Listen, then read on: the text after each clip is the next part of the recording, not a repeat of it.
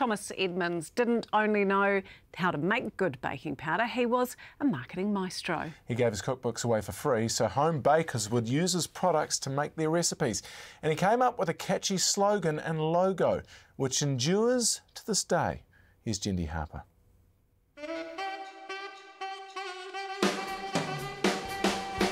Small but mighty. More than 3 million copies sold, New Zealand's biggest selling cookbook ever.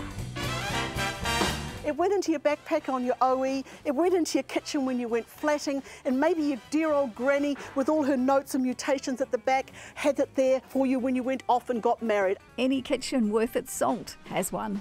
For me, the Edmonds cookbook is all about nostalgia. Um, as a cook or a chef, it's kind of the template for New Zealand cuisine since 1908. It's like it's in our DNA, really. It's where it all began.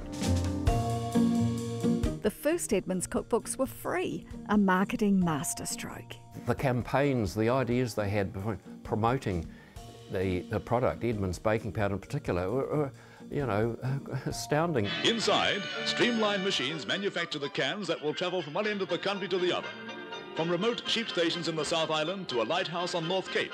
So some of the, the advertisements talked about, you know, if all the tins were stacked one on top of the other, it would be several times higher than New Zealand's highest mountain. Richard Wolfe is a big fan of the Edmonds brand, one that's endured across three centuries.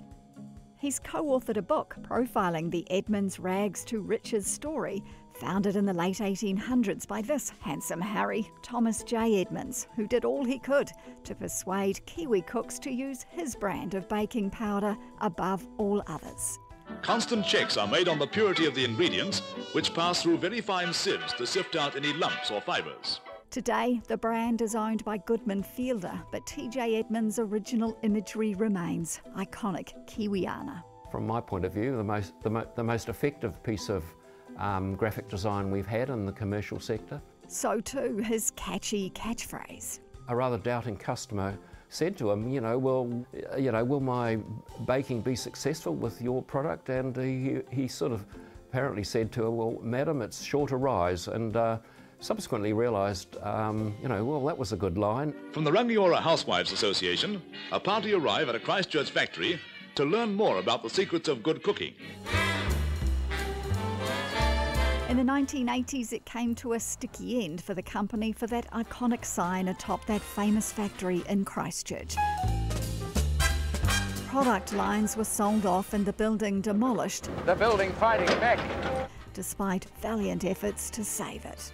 Look over here, already the, the ruination of what was once very grand. And look on the floor, look at this stuff. Baking powder, very good baking powder. Every time there's an Edmonds story, John and Jenny get rolled out like a fine pastry. That's okay. We don't mind. We like to promote it. They run the Friends of Edmonds Society, which takes in memorabilia and looks after the gardens. The picturesque surroundings, smooth lawns, calm ponds, and carefully tended flower beds create an atmosphere of harmony that has made the factory one of the city's showplaces. This is a uh, a model of the whole factory. Bluebird Foods, who were the manufacturers of uh, Edmonds, found it in a skip up in Auckland. The Edmonds cookbook, it's a survivor too. Custard and shorter set jellies. The best versions are those that have seen better days. Tattered, splattered in bits and blobs, a baker's Bible, sure to rise.